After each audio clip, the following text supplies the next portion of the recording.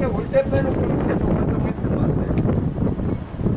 하늘이 비를 뿌릴지 말지 고민하고 있는 사이 일말의 고민도 없이 길을 나서는 이가 날마다 있다. 나오니까 이 통을 날마다 쓰거든요. 김포에 살고 있는 유시연 씨다. 미래 세대에게 빌려 쓰는 땅이니까 이거를 깨끗하게 잘 사용을 해야 되겠다는 그런 생각을 가지고 이제 미세 플라스틱 이제 제가 한 통에 150개 정도 하니까 그냥 하루에 150개 정도 이렇게 치우면은 이제 어떤 사람은 버리지만 어떤 사람은 치움으로써 이렇게 미래 세대 친구들이 살기 좋은 세상에 조금이라도 도움을 줄 수 있을지 않을까. 어, 될 때까지 할까 생각 중입니다.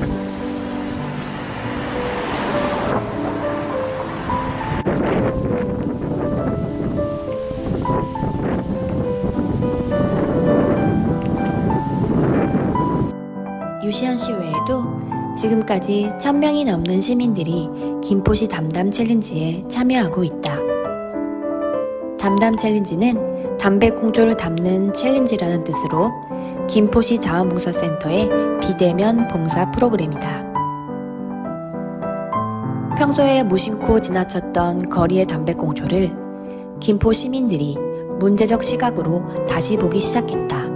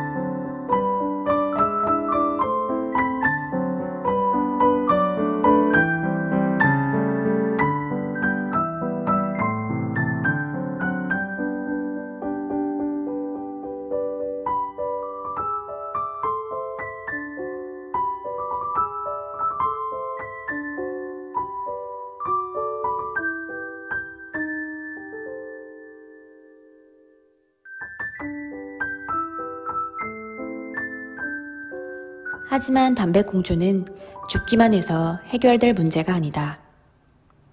근본적으로 무단으로 버리는 행위가 사라져야 거리의 담배꽁초를 완전히 제거할 수 있다. 여기 담배꽁초 무단 투기 근절을 위하여 솔선수범에 나선 자들이 있다. 아, 이제 저도 흡연자로서 느끼는 게 뭐냐면 그 어떤 그 지정된 장소에서 꽁초를 버리면 버릴 수 있게 그런 장소가 있다면 할 수 있는데 그런 것이 아니라 흡연자들의 대부분의 그이 버릇들이 그냥 난 다음에 그냥 아무데나 이제 버리는 이런 습관들이 많아가지고 75명의 김포시 공공기관 종사자들이 휴대용 잿더리를 직접 사용해보며 자신의 페이스북에서 휴대용 잿더리의 사용을 권장했다. 휴대용 잿더리는 라이터처럼 생긴 소형 잿더리이다. 담배와 함께 휴대하고 다니면서 흡연 후 발생하는 꽁초를 담는 작은 케이스이다. 흡연 문화가 발달한 일본의 경우 휴대용 잿더리를 사용하는 매너가 안정적으로 정착되어 있다. 개인의 기호를 존중하는 만큼 개인의 책임도 요구하는 것이다. 예전에는 쓰레기통이 많았었어요. 그런데도 담배꽁초 다시 내버리고 하수구나 빗물바지에는 버려진 담배꽁초가 가득합니다. 이렇게 길거리에 버려지는 담배꽁초는 하루 평균 1,200만 개비, 하루 생산량의 7%가 넘습니다. 더 큰 문제는 담배꽁초의 필터가 셀룰로스 아세테이트라는 플라스틱 물질로 이루어져 있다는 겁니다. 비에 쓸려 수로나 하수구로 들어간 담배꽁초는 점차 작은 입자, 즉 미세 플라스틱으로 분해됩니다. 이후 강을 거쳐 바다로 흘러가게 되는데 이 양이 국내에서만 하루 최대 0.7톤에 이를 것으로 추산됐습니다. 1차적으로는 수중 생태계에 영향을 주고요. 조개류 또는 어류의 몸속에 들어가서 우리 식탁에 올라오게 될 위험이 가장 심각합니다.